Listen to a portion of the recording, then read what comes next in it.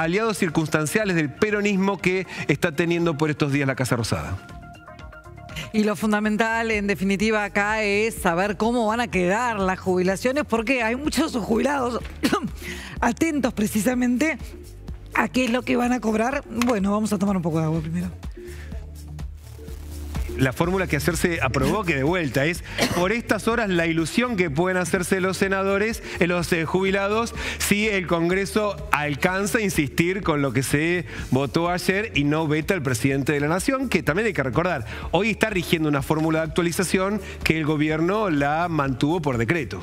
Eh, así es, en definitiva es un decreto nuevo que hizo este gobierno. Hoy lo que hay es un ajuste por inflación. Lo que teníamos hasta, el, hasta la fórmula vieja era una combinación de índices salariales que reflejaban la inflación muy eh, indirectamente e hizo que, se que el atraso de las jubilaciones fuera realmente muy importante. La inflación de diciembre del año pasado profundizó ese, esa licuación que hubo de las jubilaciones durante cuatro años. A partir de marzo de este año se empezaron a ajustar por eh, inflación y el gobierno otorgó una compensación por la inflación del verano, que había sido muy alta, de 12,5%. Y acá empieza la madre de todas las batallas. En el Congreso se empezó a discutir y en un momento en el marco de la ley bases y después finalmente en el proyecto que se aprobó ayer, la nueva fórmula jubilatoria que se compone de un mix de eh, salarios e inflación, 50%, una fórmula que rige en muchísimos países del mundo y es una de las fórmulas más sensatas.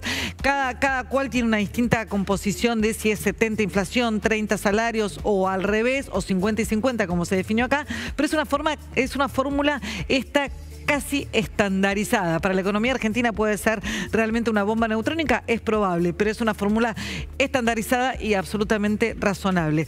¿Qué decidió también el, Congreso ayer? Eh, sumarle una recomposición adicional a, los jubilados por eh, la pérdida de poder adquisitivo del verano. Faltaban recomponer 8 puntos porcentuales que el gobierno se había, digamos, quedado en el bolsillo, con lo cual ahí también hay un gasto para el gobierno. Le preocupa mucho al gobierno este gasto? No tanto, porque es un gasto por única vez, es un 8%, repetimos, es un gasto por única vez y que más de la mitad de las jubilaciones queda compensado. El gobierno no tiene que gastar mucho más que lo que ya está gastando en, por ejemplo, todas las jubilaciones y todas las prestaciones mínimas.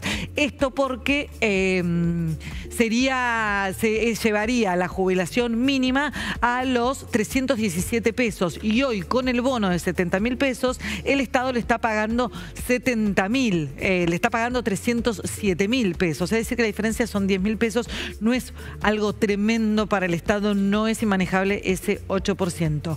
¿Qué es lo más complejo para el gobierno? Un poco la fórmula salarios, eh, la combinación de salarios e inflación, porque está claro que si el proyecto del gobierno avanza y va por buena vía y la economía arranca, los salarios van a crecer muchísimo más que la inflación. De hecho, es algo que ya está empezando a ocurrir, con lo cual, en definitiva, ahí el gobierno siente que tiene un descalce.